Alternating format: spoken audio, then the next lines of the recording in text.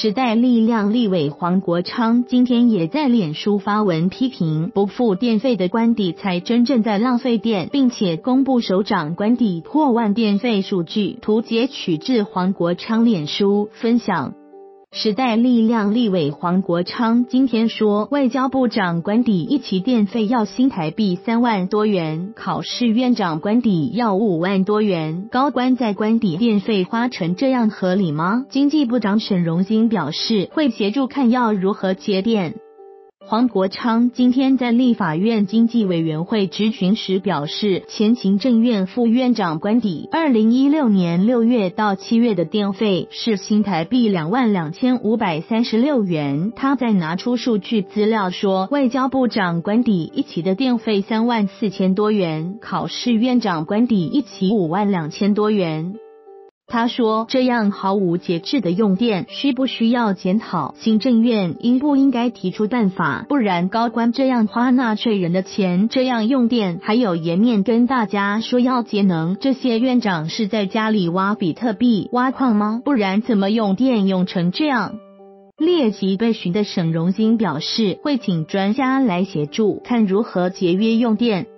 行政院发言人徐国勇表示，官邸用电需求除副院长寓所外，另包括警卫组二十四小时轮值勤务所需用电。一百零五至一百零六年间，行政院前副首长宿舍位于台北市长安东路，基地面积为一千两百一十九平方公尺，包括副院长寓所及警卫组轮值勤务空间。外交部发言人李宪章说，外交部管理的龙江路首长职务宿舍因机关特性及公务需求，负有执行外交任务的功能，经常在寓所办理参宴、召开会议及接待外宾等活动。因此，除室内冷暖气及灯光照明外，也需经常开启庭院及车库等附属建物的照明设备，用电量自然高于一般公寓大厦型住宅。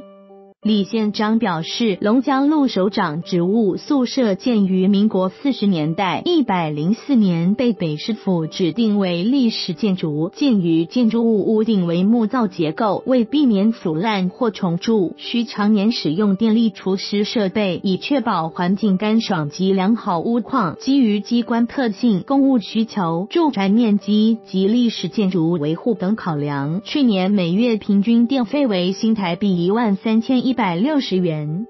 考试院也发布新闻稿表示，会加强节电措施，并说明一百零五年五月至九月时间，考试院长吴景林经常邀请学者、专家、相关顾问及同仁至寓所研商重大考圈业务，用电量需求高。又因考试院位于木栅，距台北市区较偏远，基于政务需要，经常邀请相关人士就近，就便在寓所就重大政策请意及交换。意见。